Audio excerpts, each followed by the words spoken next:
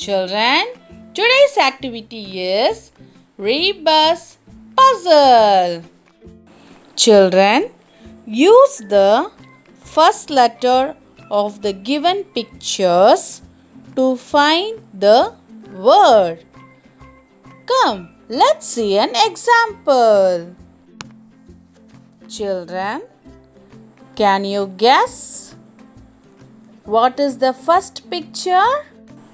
Yes, it is a dog. Take the first letter D from dog. Second picture is owl. Take the first letter O from owl.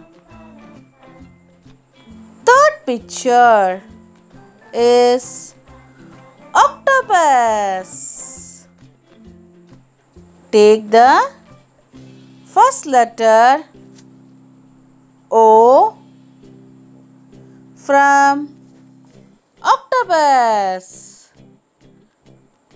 And the last picture is rabbit. Take the first letter R from rabbit. Children, now we found the new word door. Now it's your turn, children. I have given you 10 rebus puzzles. Look at them carefully. Use the first letter of each picture to find the new word. Children, your time starts now. After finding the new word, write it down and send it to me. Thank you, children.